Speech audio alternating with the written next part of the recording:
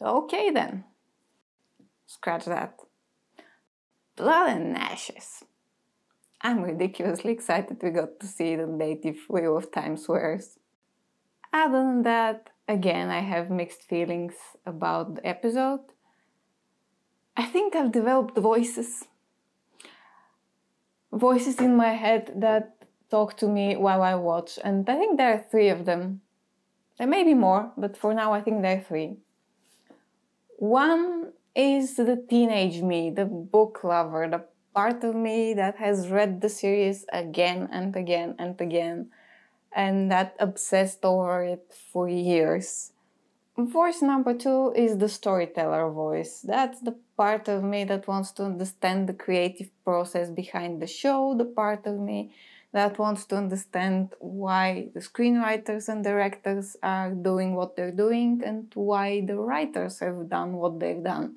And voice number three is the voice of the empathetic reader and viewer, the part of me that wants to be immersed in story in such a way that I see characters as people, to see events and scenes as life and not as scenes. So, those three voices haven't been in agreement lately. I think I'm mainly using the second voice to justify everything the other two voices are whining about, and so far it's working most of the time. Note number two I'm currently recording from my childhood bedroom because I'm staying with my mother while she's sick, and this does two things. One, I'm staring past the camera right into my bookshelf of Wheel of Time books, and I guess just being here is bringing the teenage superfan to the surface. And the other thing is, I'll have to talk quietly because it's the middle of the night here.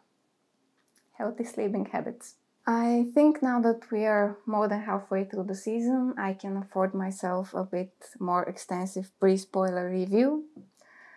I think this episode was pretty great in the sense that it allowed us to stay with the characters, to get a better feel of them and their relationships, and that allows some of the actors to really shine.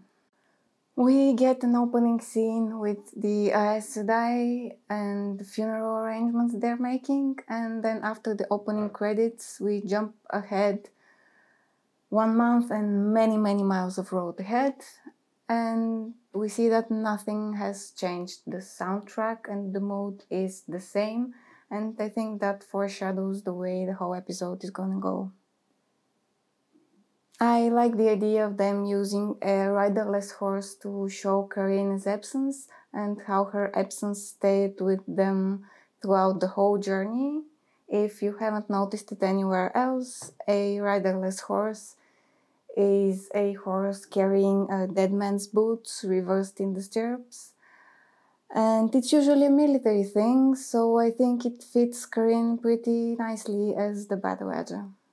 I think the episode does a great job developing the relationships between Lan and Moiraine, Rand and Mat, Rand and Nynaeve, and Nynaeve and the Egwene. There's a point to it all, and though some of the stories are told with different conclusions drawn out of them as compared to the books, I still like that we get to see them. There's also a chance given for a relationship to form between Moiraine and Nynaeve other than headbutting and distrust, and I'm all for that. I think it makes the relationships more complex. This episode also shows us our first look of Loial in action. It's a brief introduction, but it's sweet, and Loial is nothing if not sweet. I think there was quite a lot of fuss regarding the costume, but I think on the whole, the way the part is written and the way the actor portrays it really does the character justice. There is this very nice mix of curiosity and eagerness as he tries to engage Rand, and also the unhurried, deliberate pace of his actions and his talk. I think it's pretty nice. The hair is distracting, but on the whole, I quite like it. And it's the only source of lightheartedness in the whole hour of screen time. We see a bit of color and liveliness from Tar Valon and its markets, and just a little bit from Egwene as she skips into view to join Perrin and Aram. But I think it doesn't alter the mood much, and if it does, it's not for long. Overall, the pace of the episode is slow, solemn, heavy with emotion and the unmade decisions. And I think it allows us to feel the gravity of what's happening and to feel the uncertainty that's building up. If you're not into drama, it might feel like it's dragging, but it's also over before you know it. We see the tortured characters show bits and pieces of humor, but it's all dark and it's darkened by the context. There are also answers to some questions and objections after the first episodes. Um, I think that's good. It makes me trust the creators even more. Like me personally, I was wondering after the first episode about the attention that's placed on the Sedai hands and the gestures they need for channeling and why the white cloaks cut the hands of the one they had captured off. So now here we see Valda's answer and it fits the lore from the books. So that nicely wraps it up.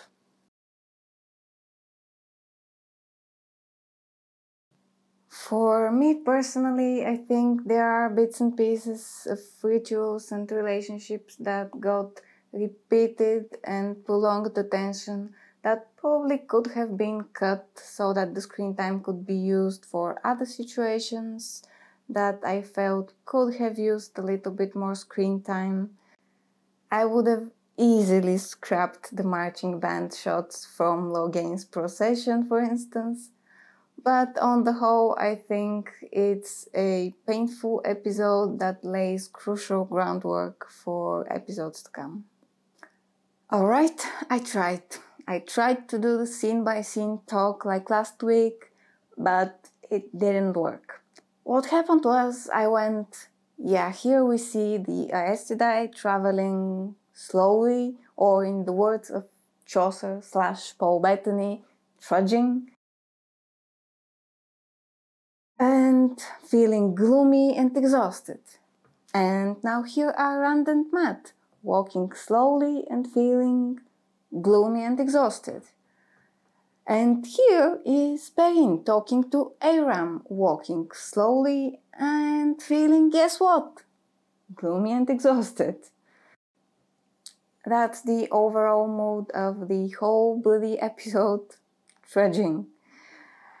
People who are walking slowly with nothing left but the impulse to simply soldier on and we assume there's hope in some of them that if they keep walking they'll get to a better place. But we don't really see much of that.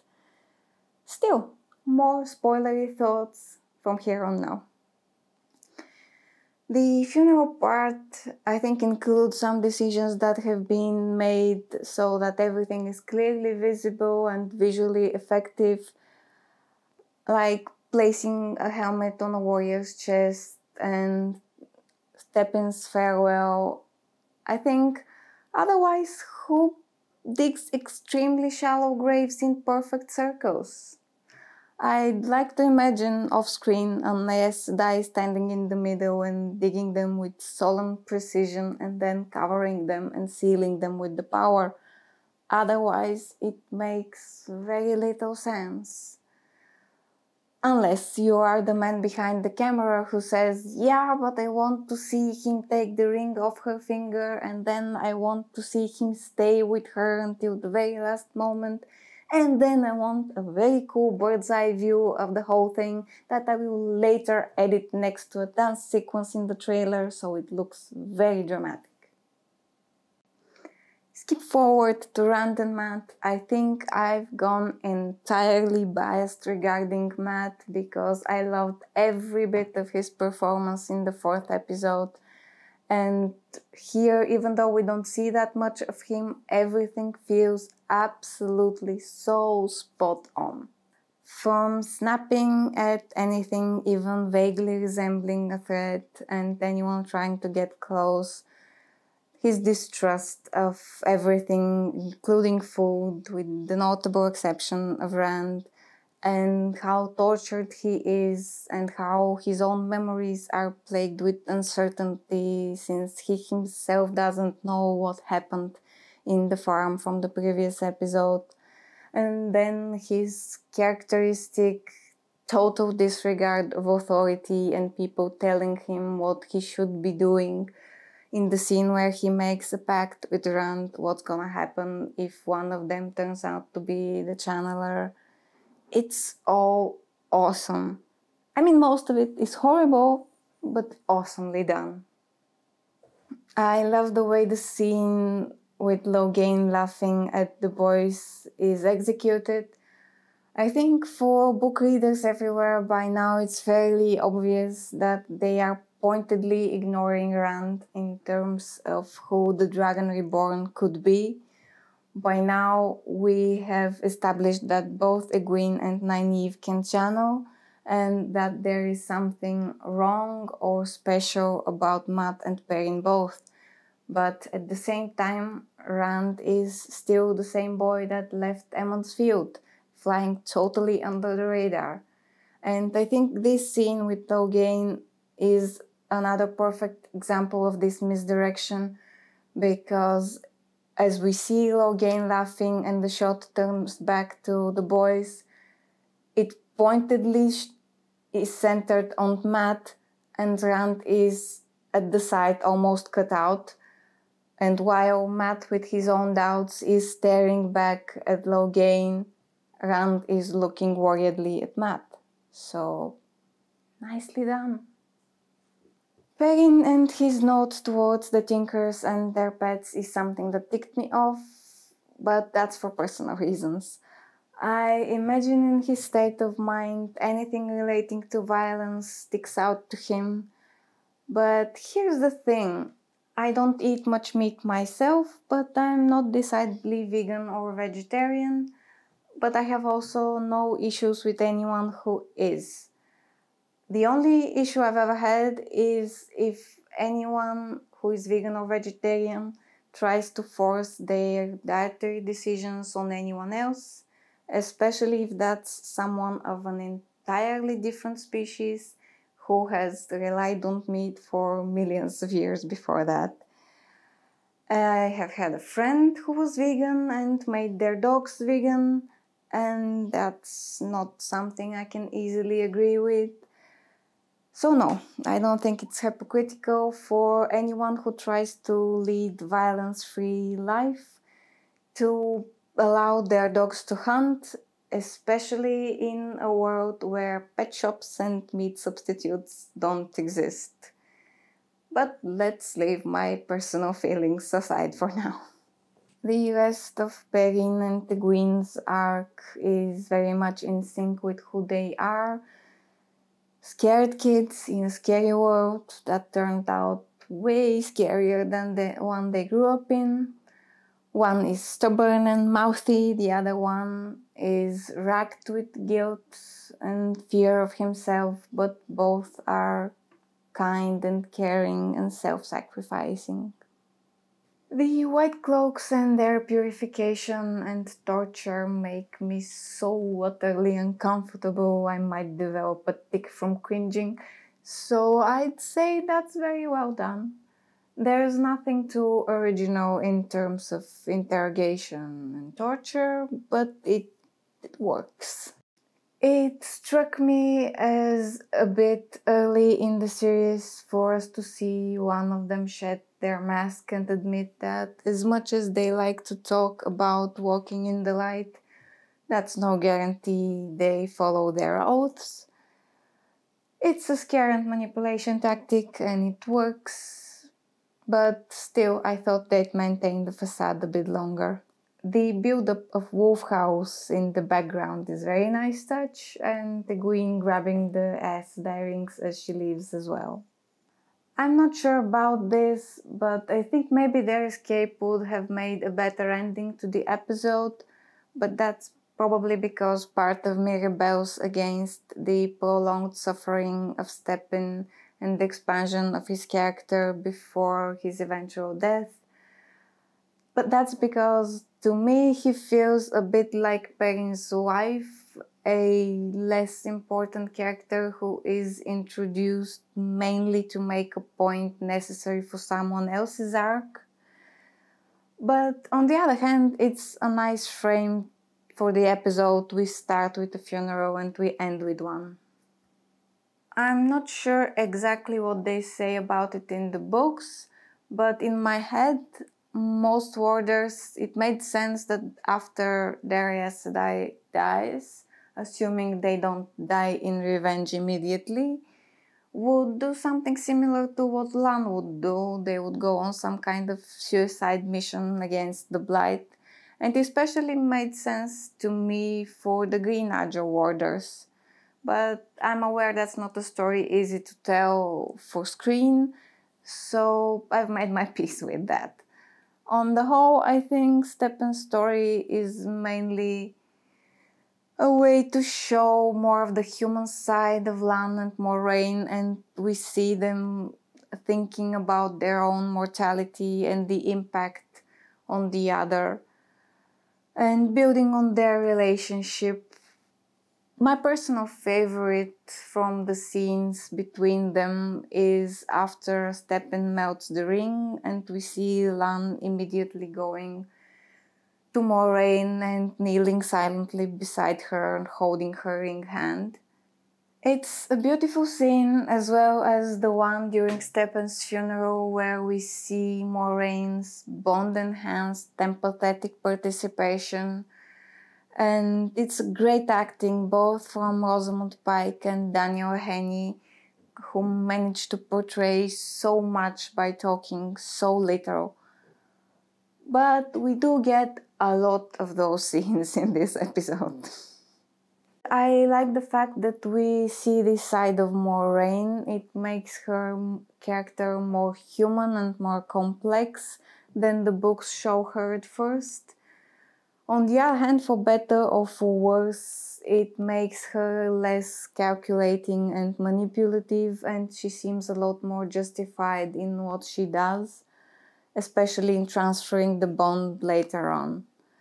And on that subject, I'm not sure if they don't plan to meld Alana and Myrelle because of the conversation Alana and Moiraine had about the bond, but that's just a suspicion and I think it would complicate things, but I guess we'll see.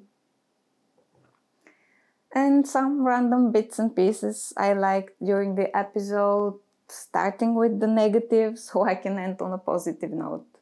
I didn't like when Lan and Stepin were discussing Stepin's possible bonding with Alana, that they were talking about it as if it meant necessarily joining Alana and her warders in their threesome sexually, which maintains the notion, the suggestion during the series that the warders and the Sedai are usually intimate.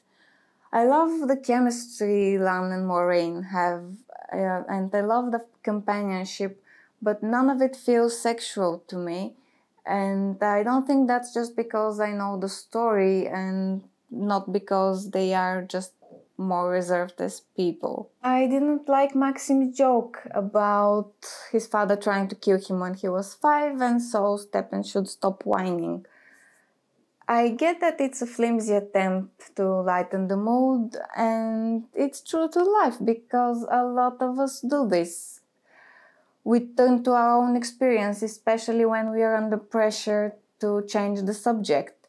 But the fact that someone has dealt with something at some point in the past means very little to someone who's dealing with their own thing currently.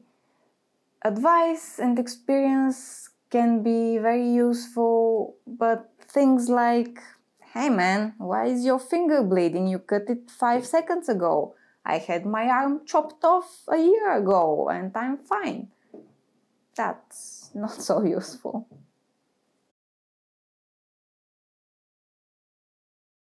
I liked the way the scene after Lan wakes up was executed. I loved the use of sound or lack thereof. It felt real, the rush, the chaos, the being deaf to anything else. I didn't like how the warder commander singled out Lan during Stepin's funeral. It felt to me like placing a responsibility on him which is not something anyone in that position needs. Of course, when someone you're close to is not doing well, especially after suicide, you feel like you haven't done enough. So, putting him on the spot like that felt unfair, unkind, maybe even cruel. I liked Nynaeve crossing her arms after Moiraine asked Lan to leave during their conversation. It's an obvious defensive gesture and it shows she felt safer with him around. I like the casual glimpses of the carved stones that both the Aes Sedai and Rand and Mat pass by. I like the one the Aes Sedai passed by better, it felt more authentically weathered. But I do wonder why there are two sets of them next to Tar I like the serendipitous way in which Loial stumbles into Nynaeve and decides to bring her to Rand. I think it's a nice job of introducing the ta'veren effect, though no one has pointed it out yet. So, yeah, it wasn't fun, it wasn't dynamic, but I think it was mostly good. Knowing how little time we have left in the season makes me greedy to use some of the time devoted to Stepin and the elaborate funeral rites for anything else. But oh well. Let me know what you think in the comments. I'm loving rejoining the Wheel of Time community lately, and I don't know about you, but for me it's nice to be able to talk about Aes Sedai at a time when the general public is starting to know what that means.